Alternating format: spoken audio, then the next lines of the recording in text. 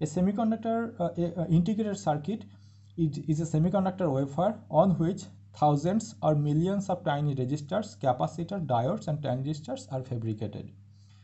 Now uh, there are several advantages behind this. First one is size. Size of the um, mm, IC is very small. Uh, it depends on the technology used. Uh, so uh, it may be within a micrometer, a micrometer range, maybe a few micrometer square micrometer uh, is the area of the IC and due to the small size it is possible to incorporate large number of components within the IC. So first second one is low cost due to batch, processing. So cost is low uh, because uh, large number of IC can be fabricated on single wafer so that will reduce the cost. Third one is less power consumption. Due to the small size area is small and that's why power requirement also low and uh, current uh, in the IC generally in micro microampere or nano um, microampere or milliampere range. So that's why uh, also it um, it uh, consume less power. Also supply voltage is less. So the the power consumption is of IC is um, less. So that's why it uh, it is possible to use it for maybe wireless application. Fourth one is higher speed of operation. Fifth one is less weight because of the small size weight is also less and you can easily replace uh, the IC. There are also several uh, limitation. Uh, first one is not suitable for high power applications. So IC uh, you cannot use for maybe mega megawatt range powers, but it is suitable for low power like milliwatt watt range power. You can use IC. And second was second one is inductance. That's why that is the inductance and transformers cannot be fabricated uh, on the IC. One important IC will, we are going to learn is operational amplifier. In short, it is also known as op-amp.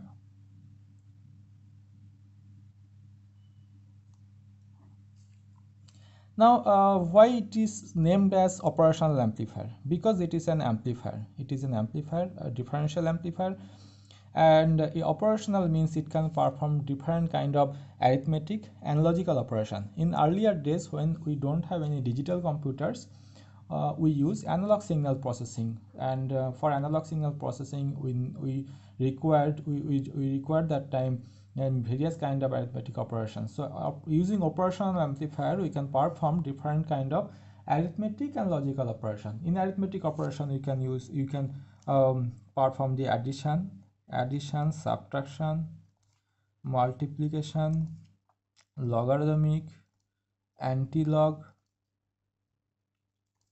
and division etc so we can division integration differentiation.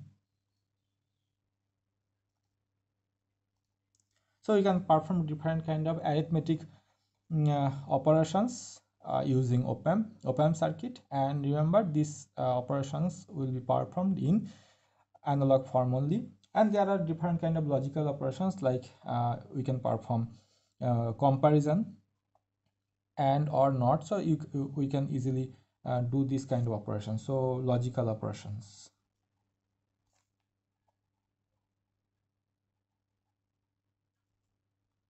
So it can perform various kind of arithmetic and logical logical operation in analog signals. Uh, so that's why it is known as operational amplifier.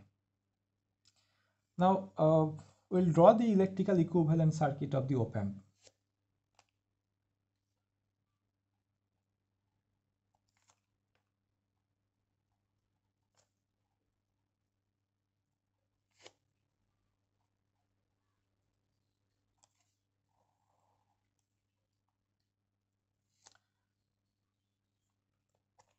So before that, uh, we'll draw the symbol of the op-amp, then we'll draw the electrical equivalent of this symbol. So op-amp symbolize like this. It have two inputs. One input there will be minus sign, another input is plus sign, and there will be output.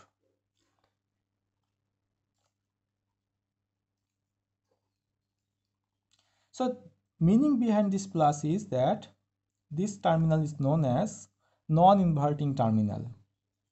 Minus sign there is a minus sign associated with this terminal. So that is known as inverting terminal. It is output.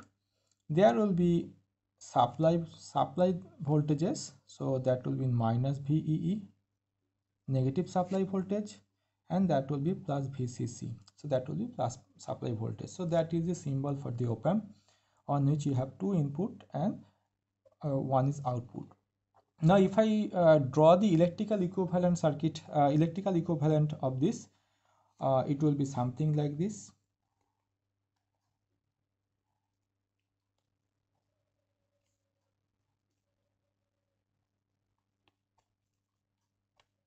There will be an resistance that is Ri this resistance is Ri. Ri is known as input resistance. Ri input resistance.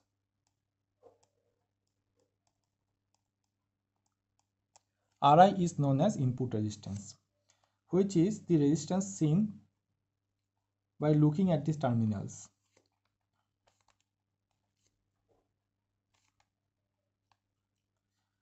Now you have a dependent source you have a dependent source and you have resistance. This resistance is known as r0 r0 is output output resistance. And this is internally grounded. Now this dependent source this dependent source depends on the input difference signal so if this difference of these two signals input signals vd remember see here that we are taking vd plus and minus so that is vd will be vd is the difference signal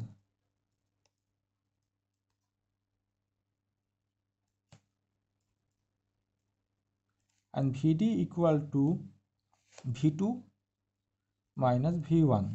So non-inverting voltage minus inverting voltage. So if the difference of the input signal is Vd, then the voltage will be here. It is voltage dependent voltage source. So voltage will be A into Vd, A into Vd, and output will be V0. A is the uh, op amp gain. A is known as open loop gain of op amp so that is the uh, that is basic basic uh, electrical equivalent symbol of this uh, op amp and uh, as you can see uh, it amplifies it amplifies the difference between the two signals input signals. So it is known as differential amplifier